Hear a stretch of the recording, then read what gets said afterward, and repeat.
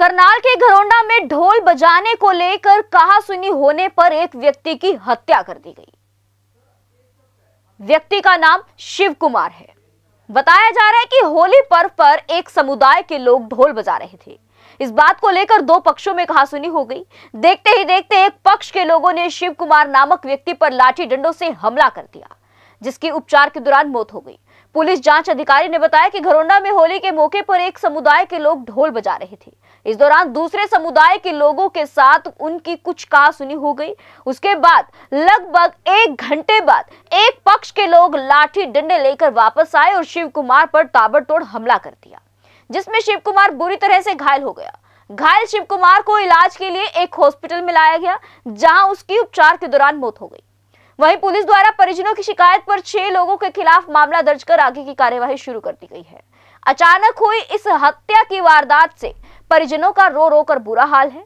परिजन पुलिस प्रशासन से गुहार लगा रहे हैं कि दोषियों को जल्द से जल्द गिरफ़्तार किया जाए।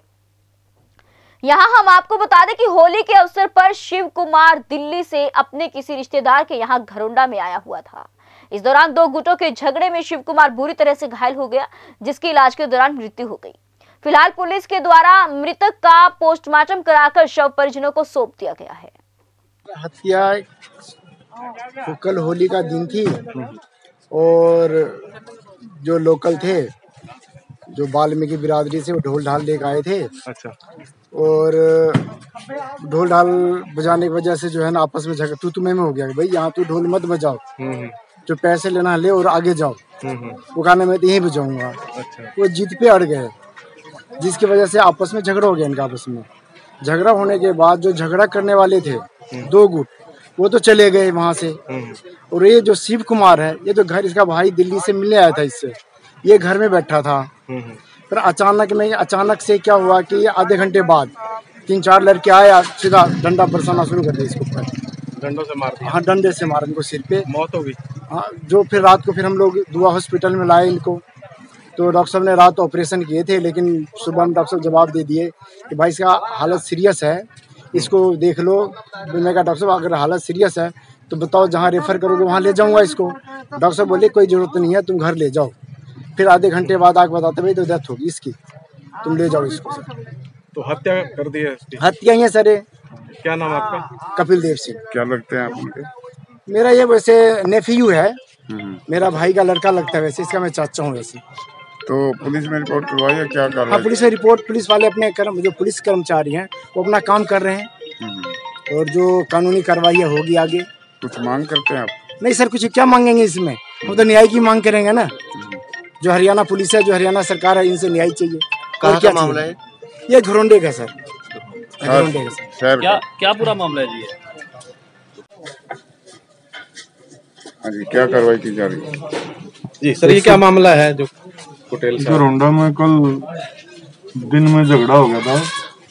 एक व्यक्ति है शिव कुमार उसके सिर में चोट लगी थी। अच्छा। इलाज के दौरान उसकी दो हॉस्पिटल में डेथ हो गई। हम्म केस रजिस्टर करके एक सौ चौहत्तर की कार्रवाई की जा रही है। ये किस जगह भट्टा कहाँ पर है किस नहीं नहीं बताया ये विग कॉलोनी घरोंडा शिव कॉलोनी विग विग विग कॉलोनी अच्छा तो कोई मर्डर का आरोप लगाया था कोई घोट तीन सौ दो का केस रजिस्टर कर लिया। कितने लोगों के खिलाफ? छह लोगों के खिलाफ। छह लोगों ने मारा इसको। हम्म। तो गिरफ्तारी कोई हुई अभी? गिरफ्तारी नहीं अभी तो कार्रवाई चल रही है। गिरफ्तारी तो जाके देखेंगे। आज क्या कार्रवाई की जाए केस रजिस्टर करके और एक सौ चौहत्तर की कार्रवाई करके इसका पोस्टमार्टम करवा रहे कितनी उम्र थी सर इनकी मृतक की? मृतक की उम्र near about forty years thank you sir